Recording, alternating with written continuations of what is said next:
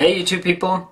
So last night we were doing a live stream about the Surface Go 2 and the intent was to show off the throttling characteristics of the device like I normally do uh, but as we got further and further into the, the live stream I realized that there was an issue and the TDP on my Surface Go 2 device appeared to be locked uh, right around 4 watts and it would not perform above that level uh, which caused a bunch of stuttering in 3D applications and uh, generally was not performing at the level that you'd expect. I tried several different things to make the Surface Go 2 work. I reinstalled Windows, that did not work. I also saw another person on the tablet PC forums also had the same issue but I finally was able to fix the issue by holding down the power button until the Surface Go 2 shut completely off.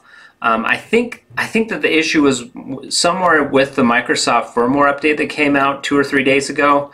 Uh, somewhere in the process of updating that firmware, something just was caught up and it would not go higher than 4 watts. I don't know why.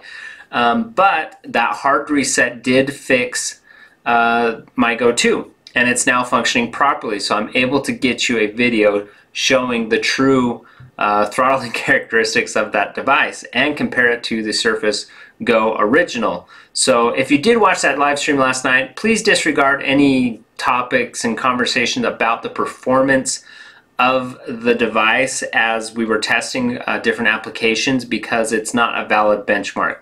Uh, we'll look at that today. If you are not getting full performance uh, from your Go 2. uh, try a hard, hard power off and see if that fixes the issue for you. It did for me, and I'm now boosting normally. I was about ready to return to Microsoft. Uh, in fact, I had I had initiated the return saying, you know, I this this is, device is broken. It's not working. I've reinstalled Windows. But uh, anyways, we're going to get into the throttling and the benchmarks uh, compared to the original Surface Go, and we're going to start that now. Okay guys, the first thing we're going to look at is just a straight up uh, throttling test. We're going to hit the GPU as hard as we can and see what happens. Uh, the key place you want to look is this package power watt. Um, Surface Go 2 is on the left and Surface Go is on the right. So going to go ahead and start GPU stress test now.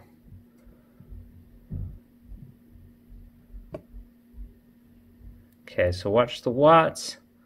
Uh, the Go is is peaked at 10 watts, while the Go 2 is peaking at almost 13 watts.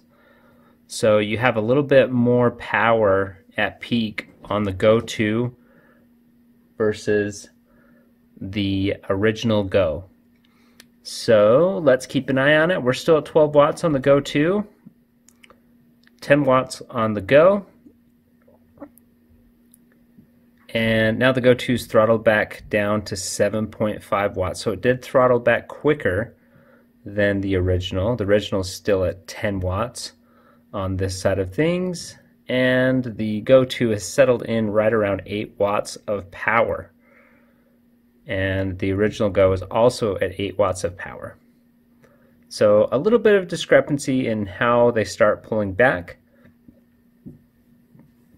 So if we let these run, um, in my experience, they'll continue to hover around 8 watts and eventually they will pull down into the 7 watt range. Um, now, I had stayed in the live video because I had a malfunctioning unit that the fan was not affecting anything. Um, but let's go ahead and drop that fan onto the back of the Go 2 just for fun to see what it does. Um, but basically, uh, you can see we're at 8 watts. If you keep the fan on it, it will maintain 8 watts indefinitely. Uh, if you take the fan off, it can get hot enough that it, it peters down to, to, you know, 6 and change watts to 7 watts. Uh, so that's where you can actually uh, buffer your performance a little bit by by tapping into that fan, uh, but not a drastic change in things uh, by using the fan itself. So that is how the Surface Go 2 throttles. Uh, let's move into some gaming benchmarks. Let's look at Minecraft. Okay, so we're here in uh, Minecraft, and I'm going to show you from the very beginning so you can see it actually load the application because there's a big difference between the Go and the Go 2 on how fast they load applications. So we're going to hit play at the same time. And they are set to the same resolution, uh, 1680 by 1050, so that there's no discrepancies uh, because the Go2 does have a higher resolution display. So they're set to the exact same uh, settings.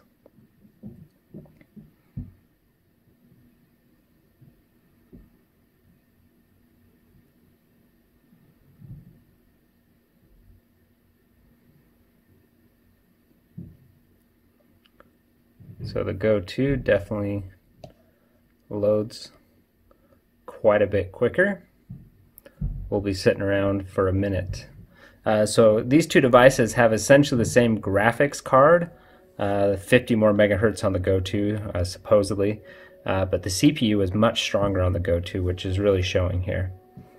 Um, so we've got 60 frames a second. Uh, the menus cap at 60 frames a second, but they're both set to unlimited.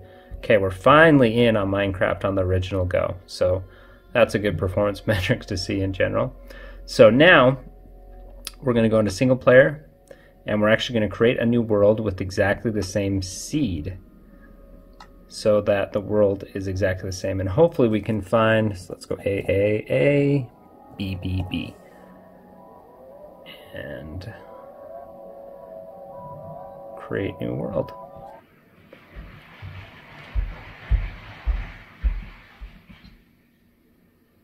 now watch how quickly the go the Go2 loads.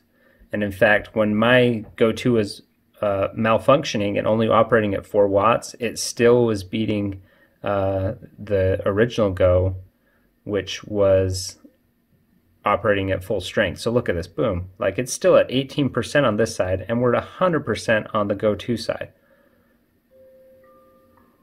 Almost four times faster here on the, the Go 2.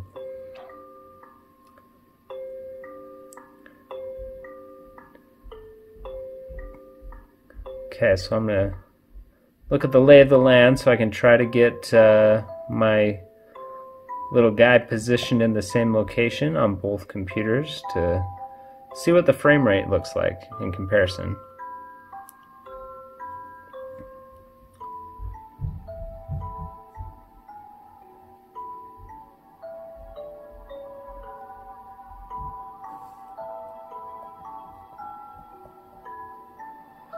So we've got this little pool of water here. Hopefully it's exactly the same pool of water. Looks like it might not be. Might have to look around for it. Oh, you know, this is it. We're in the same spot. Amazing.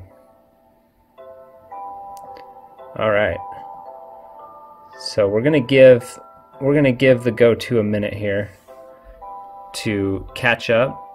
What's going on is it's still loading a lot of the spawn area around um, and so the graphics card is able to catch up once it's not doing the CPU utilization in the background. You saw that the Go 2 was breaching 100 frames a second, and now the original Go is finally caught up to it. That's because uh, the the CPU operations of this game were finished way quicker on the Go 2 versus the Go. So let's see if we can. It should stay pretty much the same frame rate here um, until we start moving far enough that that we run into new chunks in Minecraft, which um, is probably isn't the most valuable thing to be doing. But you can see, oh yeah, loading chunks, and it's slowed down to six frames a second there. Let's let's run the same route on the Go 2. It did slow down, but look how quickly it's catching back up.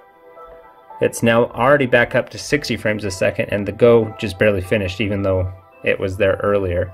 So that's how CPU power can affect you, uh, even though we're running a, a pretty GPU heavy game. So anyways, let's hop out of Minecraft and let's take a look at the Heaven benchmark.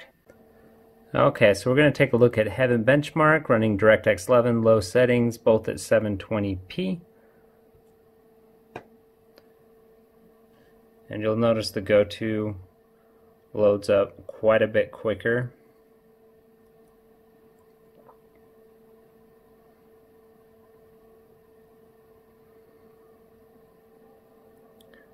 And it's ready to go.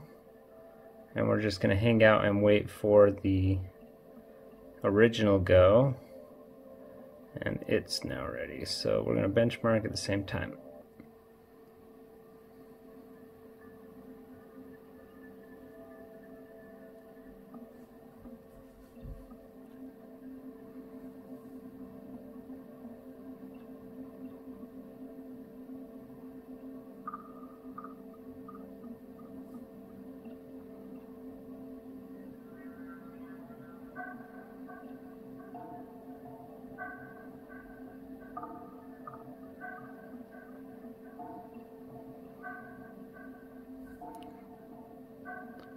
So this is an interesting one because um, the Go likes to pull ahead of the Go 2 in this particular benchmark. And I think the reason for that is because the Go 2 has such a higher, um, well, such a more powerful CPU versus the GPU, I think the CPU is actually grabbing some of the wattage available from the graphical process unit in this particular benchmark. Um, but it tends to even out in the end. They're just very different. Uh, right now, uh, the Go 2 is actually behind. It's at 38-ish frames per second, where the Go's at 38 point. Well, they're pretty even now. They've evened out. Now keep in mind, I, I, mentioned this a few times, but they do use the exact same graphic processing unit.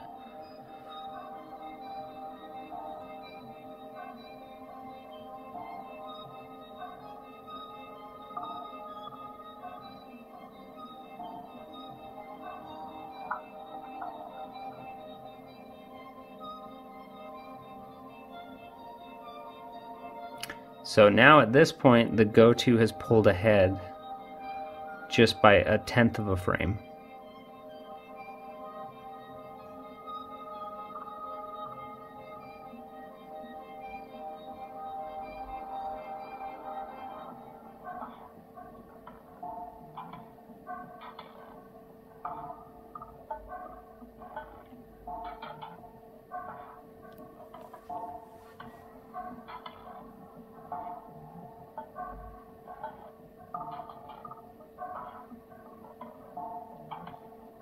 So basically, they're, I mean, they're, they're pretty neck and neck.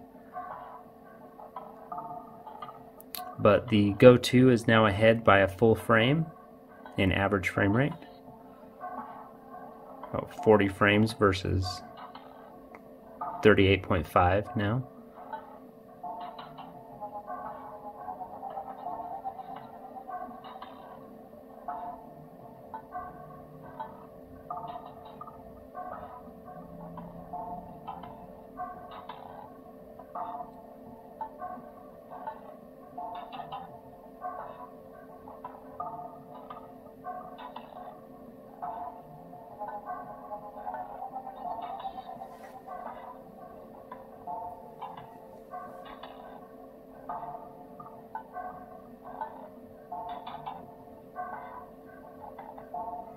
The Go 2 is closing in about 41 frames, while the original Go is at 38 frames average.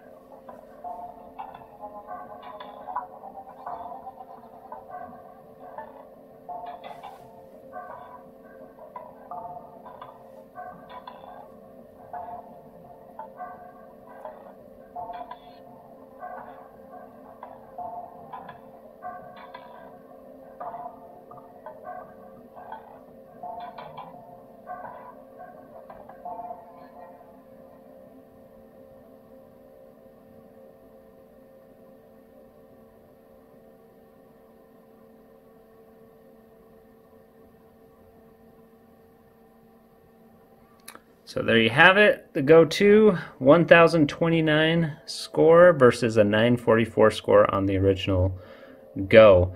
Now, I think what's happening is whenever there are CPU intensive uh, sections of this benchmark that kind of pull this down, uh, the, it, it, pulls the graphics unit down and then it can go up to where it wants to be. Um, where the Go 2 has the CPU power to kind of push through those those drop frames. And look at the minimum and maximum frame rates here.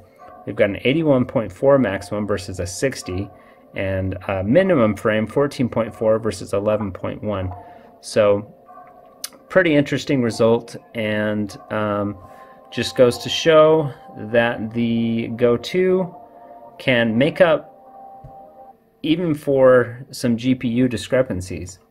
Sorry, with the same GPU, it can make up more graphical performance just because the CPU is that much stronger.